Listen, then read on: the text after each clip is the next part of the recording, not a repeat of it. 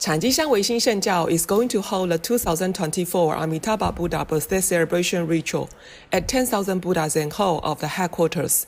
This event will begin on September 10th and last for 99 days till December 17th.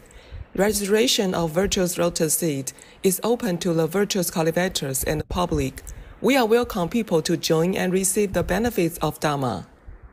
The 99 day ritual is an important ritual held at the end of every year in Weixin Shengjiao for inviting 15,615 surnames of Chinese ancestral spirits, Chinese emperors and their family spirits to receive the Faces Dharma offerings.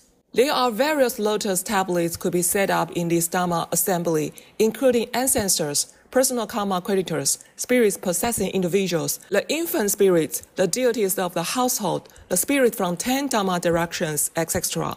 May all spirits listen to scriptures and Dharma with peaceful mind. May Amitabha Buddha transcend all spirits to be reborn in the Western Pure Land of ultimate bliss.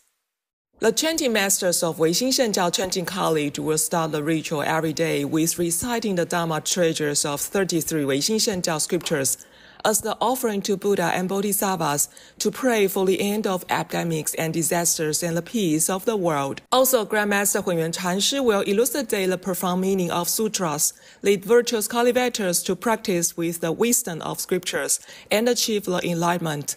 All the faithful and virtuous friends are welcome to join the ritual. If you want to participate in this ritual, please contact our registration hotline 049 272 4669 immediately.